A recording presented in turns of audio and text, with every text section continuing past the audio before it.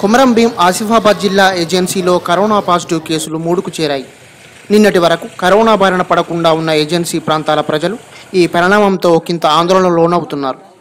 జైనూరు పట్టణంలో మూడు పాజిటివ్ కేసులు నమోదు కావడంతో జిల్లా అధికారులు ప్రజాప్రతినిధులు అప్రమత్తమయ్యారు.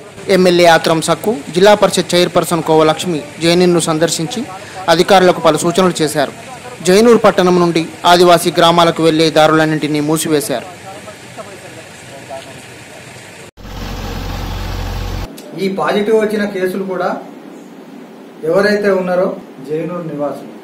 అనుమానంతో ఈ పద్దెనిమిది ప్రైమరీ కాంటాక్ట్స్ ఎవరైతే ఉన్నారో వీళ్ళ యొక్క టెస్టుల కోసం హైదరాబాద్కు పంపడం జరిగింది. హైదరాబాద్లో నిమ్స్ హాస్పిటల్కి సంబంధించిన రిపోర్ట్ పంపించడం జరిగింది.